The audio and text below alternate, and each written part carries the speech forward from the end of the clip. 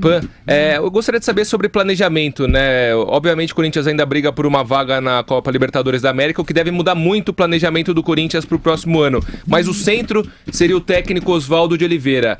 E às vezes a gente tem uma visão de longe de um jogador, de um treinador, e quando a gente vê de perto, às vezes não atende a nossa expectativa. Eu gostaria de saber, o Corinthians, ele está satisfeito com o que o Oswaldo de Oliveira tem apresentado no dia a dia? É, nos bastidores surgem informações até que alguns jogadores do Corinthians estariam insatisfeitos, até onde isso é verdade ou não é, a gente não pode dizer, mas eu gostaria de saber assim, ele, ele está garantido? Porque o Alessandro outro dia ele deu uma declaração é, que já não garantia tanto assim. Oswaldo tem contrato até o fim do ano que vem. Ele está garantido, é certo? Será o treinador do Corinthians para a próxima temporada? Se você não picar, não dividir frases do Alessandro outro dia, você vai ver que ele diz que o Oswaldo prossegue. Eu reafirmo, ele é o técnico do Corinthians para 2017. Relembro que o Corinthians passou a ser, nos últimos 10 anos, o time que menos técnicos de futebol trocou. Se você tirar quatro deles, Van Vanderlei Luxemburgo, Carlos Alberto Parreira, Mano Menezes e Tite, todos para a seleção brasileira,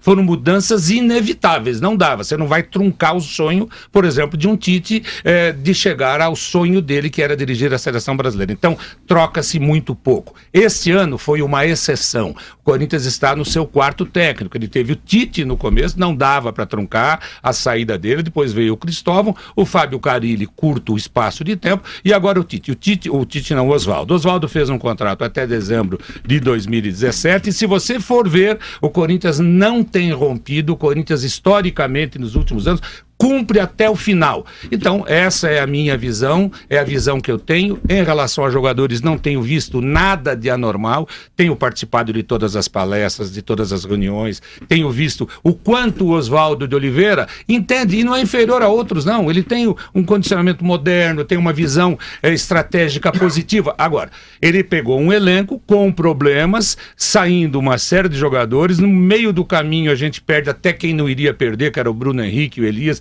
fica sem jogadores para determinadas posições, mas estão pensando sim, estrategicamente do ano que vem. A gente tem o jogo contratado, a gente tem o Wagner em fase de, de, de, de, de trata, tratamento, não, de, de consultas médicas, fazendo todo um trabalho de avaliação, mas muito provavelmente vai dar tudo certo. E lógico, tem outros nomes, vai pensar, mas a seu momento. Hoje a gente colocou na cabeça o seguinte: Quanto mais a gente falar em prováveis contratações, mais você pode iludir o torcedor. Você pode criar uma expectativa errada. Que vai ser feito alguma coisa, vai. Mas nesse momento o que a gente confia é nesse elenco, nesse time que ontem com seis mudanças em relação ao jogo contra o Figueirense, era desesperador você imaginar o que é que esse time vai fazer agora.